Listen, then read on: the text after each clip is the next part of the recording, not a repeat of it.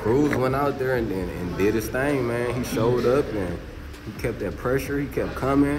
It was just too much for. It was just too much for Rolly. You know, Rolly landed big shots, but man, uh, uh Cruz just was. It was too much. Rollies, you dumbass, getting knocked out.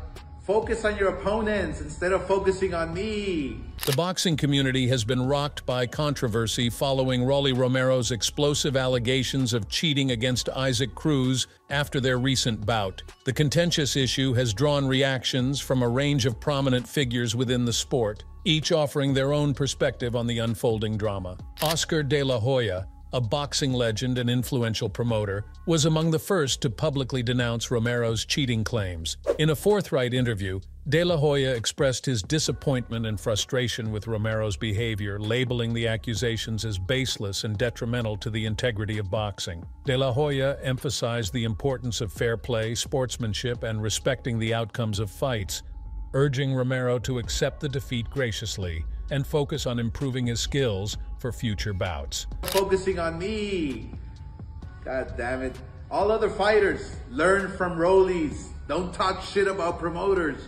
There's only three of us in the world. Devin Haney, a rising star in the lightweight division known for his technical prowess and disciplined approach to the sport, echoed De La Hoya's sentiments. Haney openly questioned the validity of Romero's cheating allegations, suggesting that they were a desperate attempt to deflect from his defeat and tarnish Cruz's victory.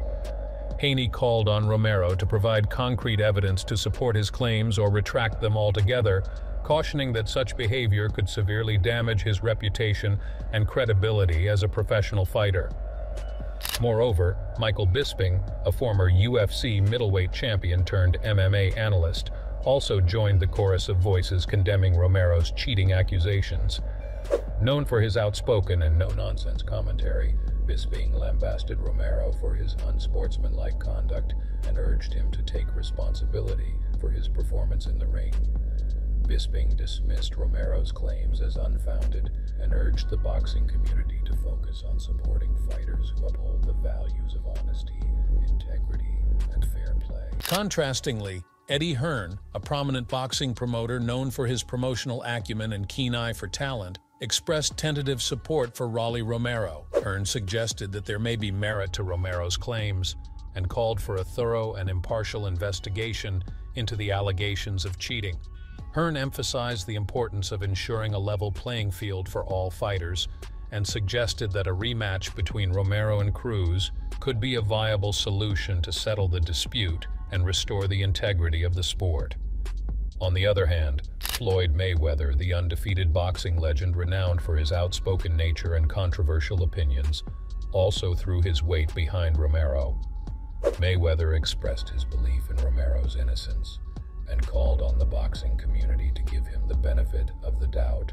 Mayweather's endorsement of Romero's claims added further fuel to the fiery debate surrounding the Cruz Romero fight, dividing opinions within the sport and intensifying the controversy. Frank Martin, renowned for his prowess and steadfast commitment to sportsmanship, may soon enter the ring with Rolly Romero, a formidable adversary embroiled in controversy. Romero's bold allegations against his previous opponent, Isaac Cruz, have tainted the sport, a realm historically revered for its principles of integrity and discipline. Martin, known for his candidness, has emerged as a champion for the sport's integrity, publicly challenging Romero to fight not only with strength, but also with honesty. This call to action transcends personal vendettas. It's a rallying cry for transparency and equitable competition.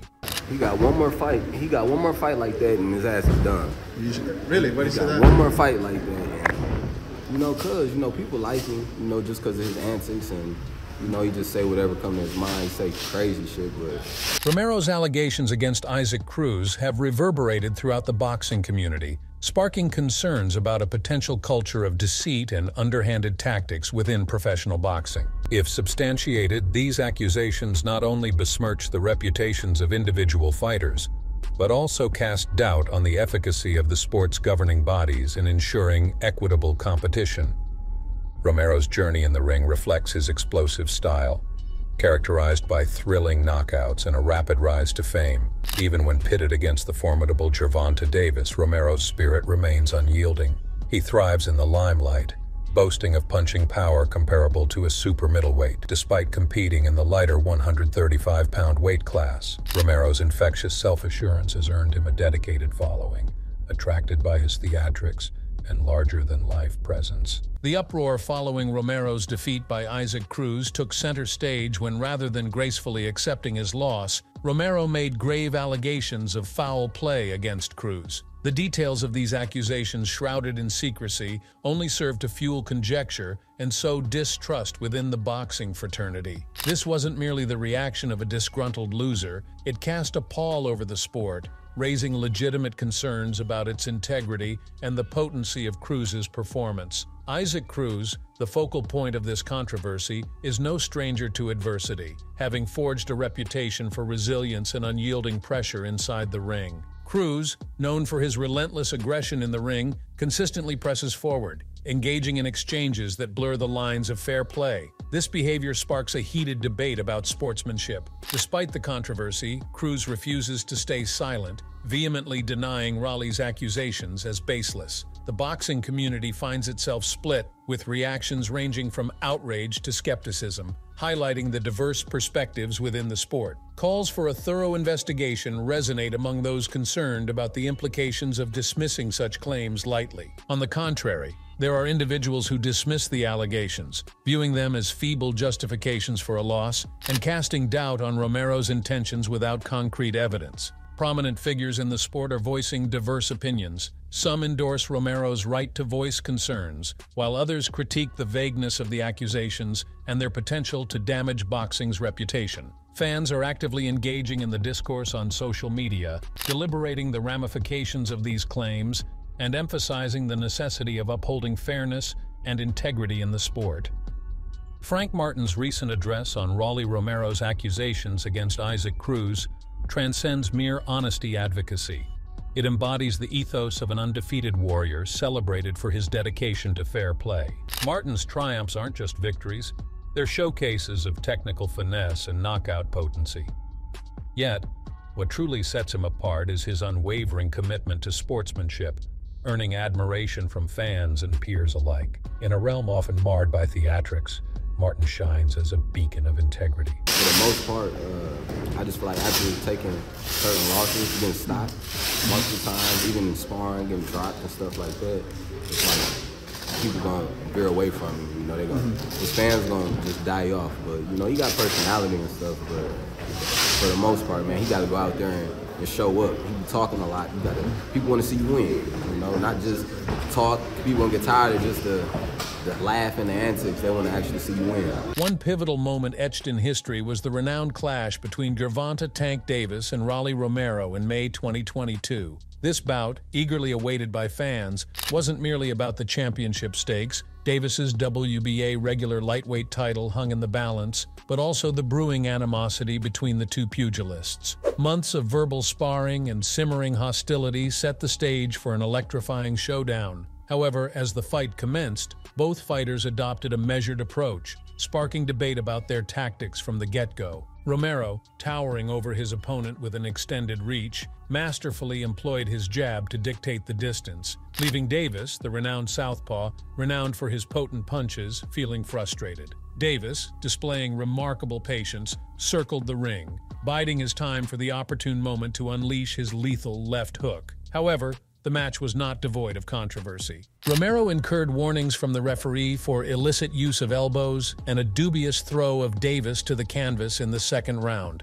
The pivotal moment occurred in the sixth round when Davis, seemingly finding his groove, landed a precisely timed counter left-hand punch that sent Romero crashing face-first into the ropes. Romero staggered to his feet, his balance wavering, but referee David Field, sensing his vulnerability, decided to halt the bout, declaring Davis the victor by TKO. The decision ignited instant controversy, with official announcements confirming Davis as the winner, while Romero vented his frustration on social media, arguing the stoppage was premature. Meanwhile, Davis drew parallels to Juan Manuel Marquez's legendary punch against Manny Pacquiao in 2012, emphasizing its strategic impact despite not being the most forceful blow. The post-fight fallout only intensified the spectacle surrounding the match.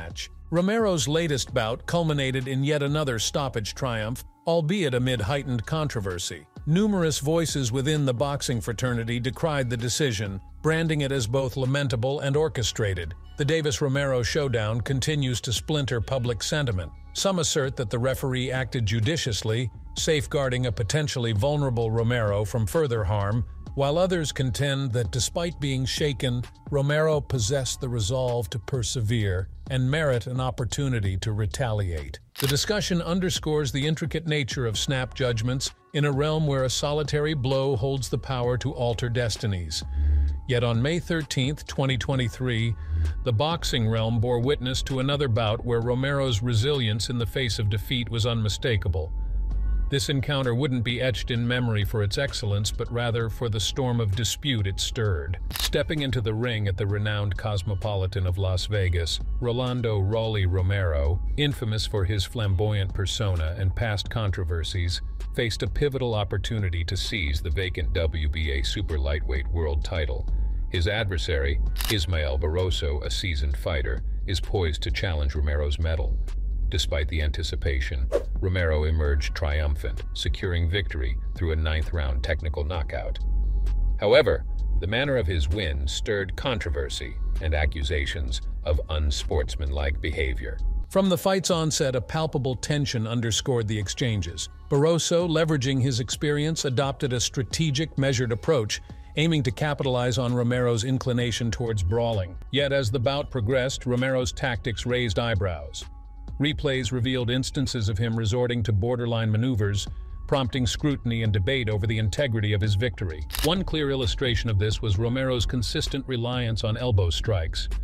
Hooks often hit their mark alongside stray elbows, a tactic capable of causing significant harm without drawing official penalties. Barroso, visibly frustrated and marked by these blows, voiced his grievances to the referee but Romero's approach remained largely unaffected by the warnings. The pivotal moment arrived in the ninth round when Romero landed a clean right hand, sending Barroso stumbling backward. Although Barroso seemed to be recovering, Romero lunged forward before he could fully regain his footing. He unleashed a barrage of punches, most of which targeted the back of Barroso's head and neck. While technically not illegal, this flurry drew widespread criticism for its targeting and perceived lack of sportsmanship.